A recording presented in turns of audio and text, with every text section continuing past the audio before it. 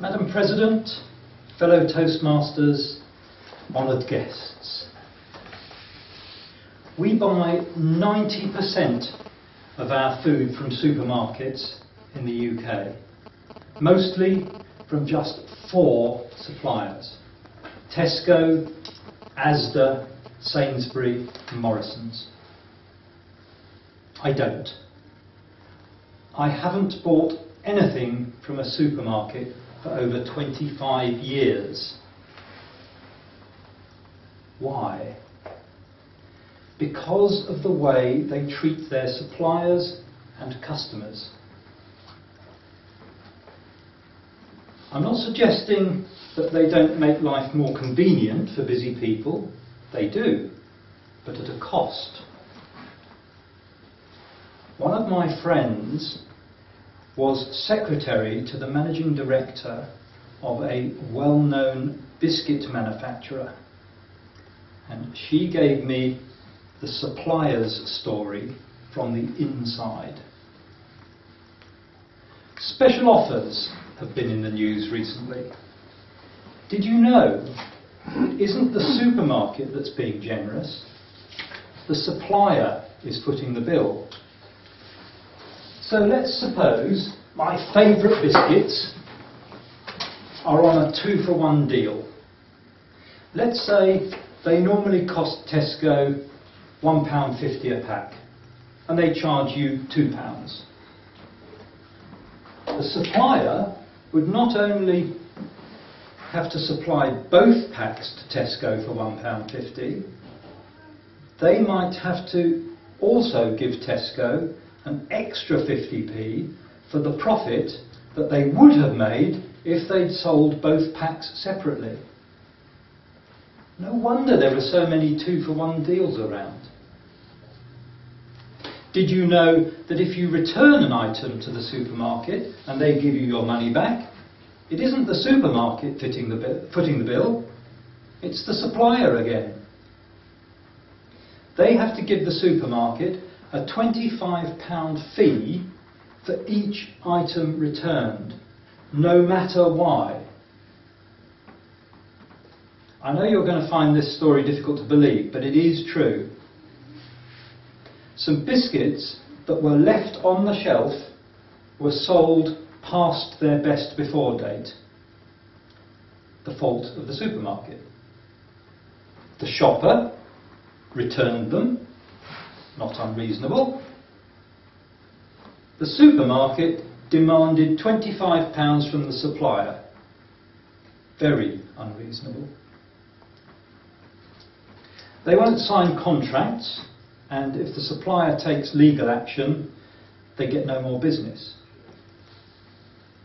They build up a supplier's reliance on them and then cut the price. All the big supermarkets have started unilaterally cutting 3 to 5% from their suppliers' invoices. So imagine going to work tomorrow and being told, we've taken 3% off your wages this month. That's not fair, is it? Because there are no contracts, the shops can act pretty much as they want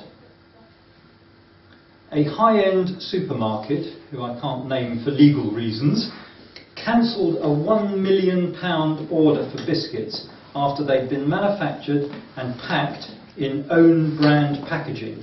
So the supplier had to unpack them all and repack them in their own boxes to sell them at a loss. Supermarkets drive other shops out of business.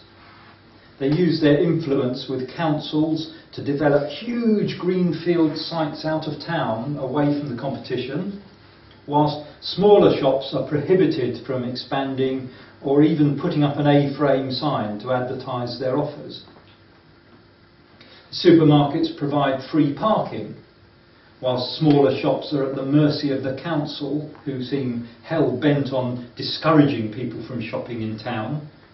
£1.40 for an hour to park in Salisbury.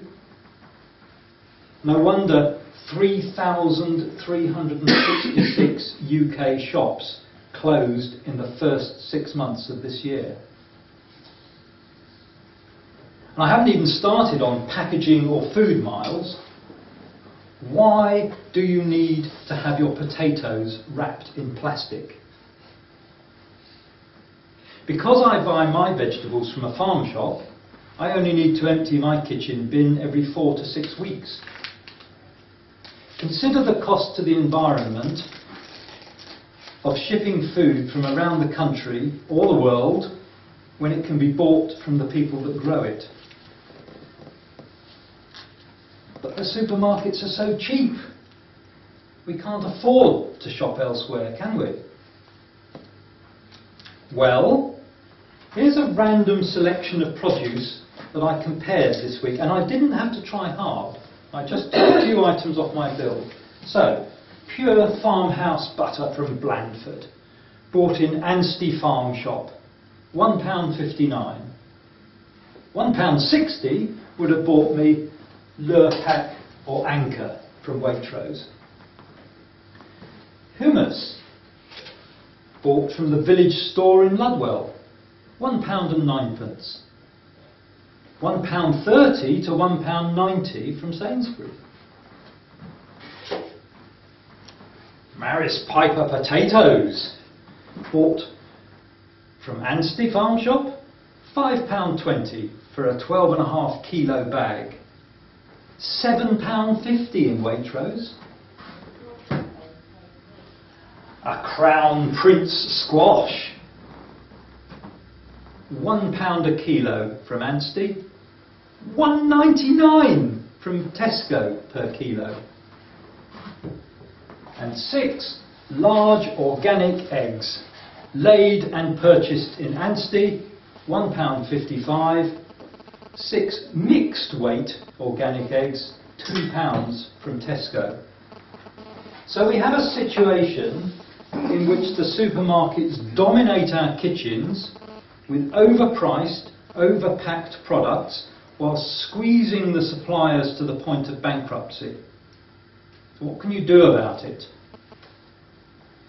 Buy more of your food locally and save fuel costs. So for me, it's a two mile round trip to the local farm shop, a 20 mile round trip to my nearest supermarket. Farm shops are fantastic. Farmers markets, local post offices and independent corner shops all offer a great alternative to supermarkets. You can enjoy being served by people who like you and have time to help and maybe you'll even save some money as well. The real power lies with us, the consumers. We just have to exercise it. Thank you.